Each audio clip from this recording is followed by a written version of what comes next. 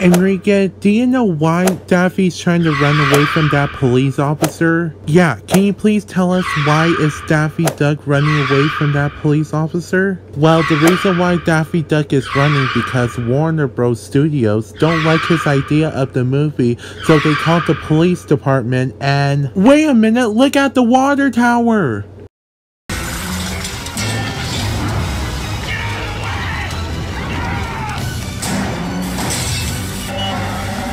Quick, move out the way!